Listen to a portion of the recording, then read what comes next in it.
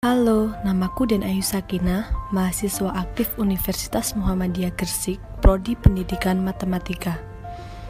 Pada kesempatan kali ini, saya akan memperkenalkan situs yang bersejarah di kota Gresik.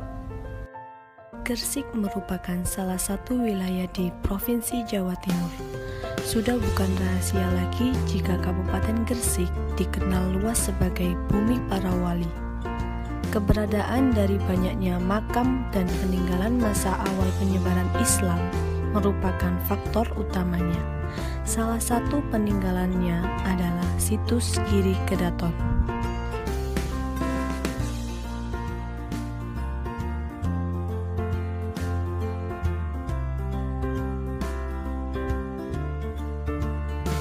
Situs Giri Kedaton Situs Giri Kedaton adalah situs bersejarah di kota Gresik. Tempatnya di Dusun Kedaton, Kelurahan Sidomukti, Kecamatan Kebomas. Terletak sekitar 500 meter dari makam Sunan Giri.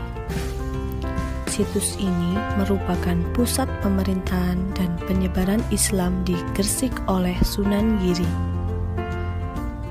Pada tahun 148 Saka atau 1486 Masehi, Raden Paku yang kemudian bergelar Sunan Giri mendirikan Kedaton Pondok Pitu yang artinya istana bertingkat tujuh di sebuah bukit di daerah Giri yang sekarang dikenal dengan Giri Kedaton. Sebelum lahirnya kerajaan Giri Kedaton, Gersik di bawah kekuasaan Majapahit pada zamannya. Bangunan ini menjadi tempat para santri belajar ilmu agama sejak awal berdirinya bangunan ini.